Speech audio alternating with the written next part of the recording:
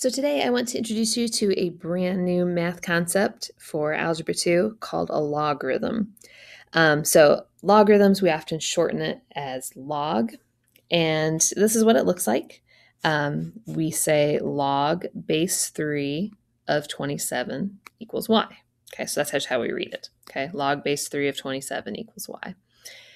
Now, what this is, is it's another way to write exponents. Okay, so when you see logs, here's what you should think 3 to the y power equals 27. So we can rewrite logarithms as exponents, okay, which is what we did over here. 3 to the y power equals 27. So logarithms become an inverse of exponents, which is going to be really, really helpful. Right now, what we want to focus on is just going back between the two, okay? It's from logarithmic form to exponential form. So we'll just practice with this. So we have log base 2 of 8 equals 3. So what you're thinking is 2 to the third equals 8. 2 to the third equals 8. These mean the same thing. They're just written in two different forms. Log base 4 of 16 equals 2. You're thinking 4 to the second power equals 16. Log base 4 of 1 over 256 equals negative 4. 4 to the negative 4 equals that fraction.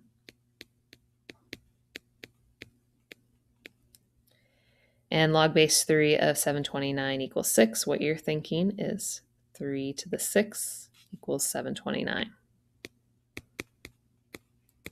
Okay. Now, something else I want you to notice is we call this the base. It's log base 3, and notice that's also the base of the exponent. Okay, so just keep that in mind as you're going back and forth. So now we want to go the other direction.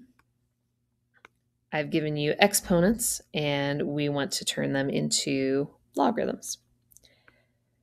So the base, it's going to be log base 15 and then the exponent goes over here. So log base 15 of 3375 equals 3. On the next one, notice the 4 is the base of the exponents, so it's log base 4, and then the exponent goes way over here. So 4 to the 1 half equals 2 is log base 4 of 2 equals 1 half. The next one, you've got another base of 4, so log base 4, exponent goes all the way over here, of 64. So log base 4 of 64 equals 3. And this one has a base of 125. Exponent goes all the way over here. So we have log base 125 of 5 is 1 third.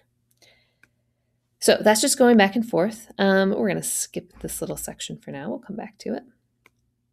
Um, so we want to practice just evaluating these, okay? We're going to use what we just talked about um, with exponents and see if we can figure out what these are. Okay, um, I want to pick an easy one to do first. Mm, I guess I'll pick this one. Okay, so what I'm thinking is 3 to what power gives me 81.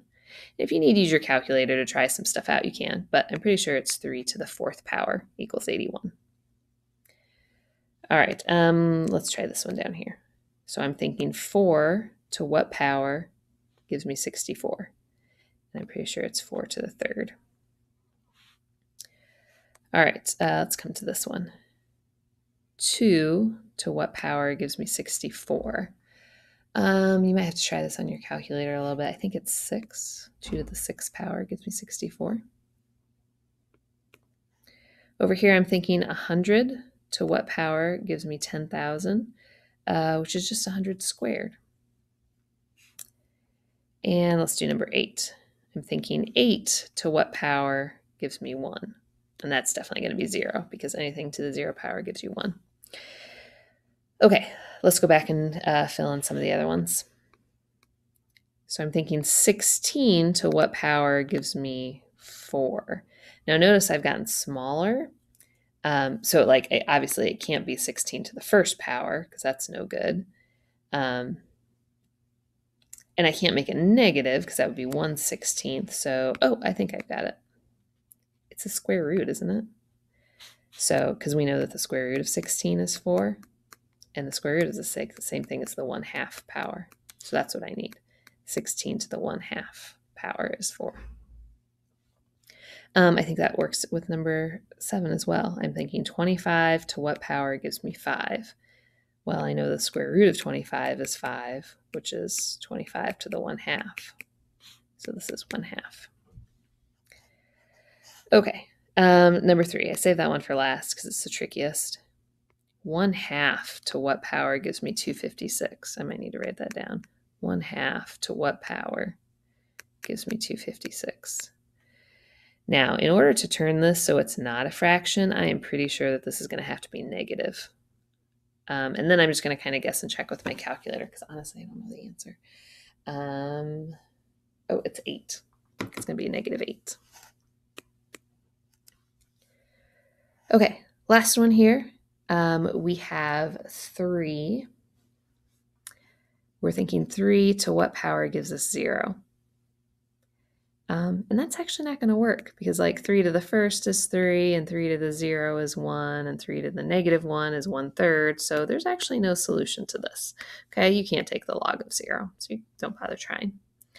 All right, we will um, investigate some more stuff about logs in the next video.